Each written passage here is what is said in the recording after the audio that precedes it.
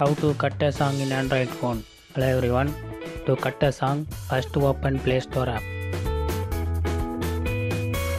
Now type this. Click here. Now click install. After install, click open.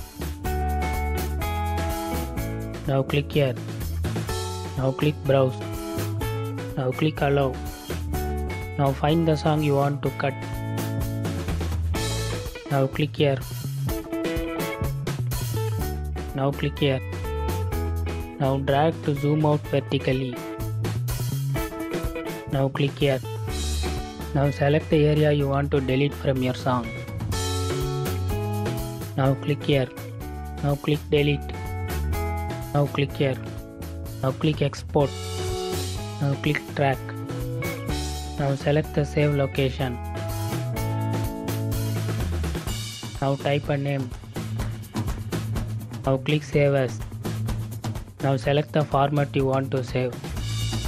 Click MP3. Now click export.